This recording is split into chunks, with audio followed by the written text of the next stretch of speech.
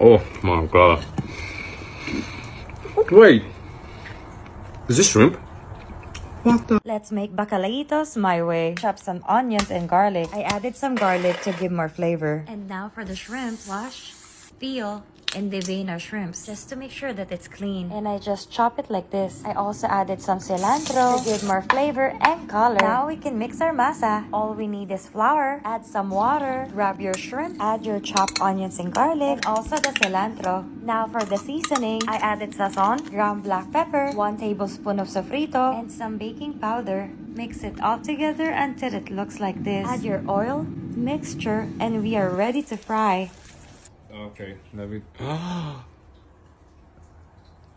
How you did this?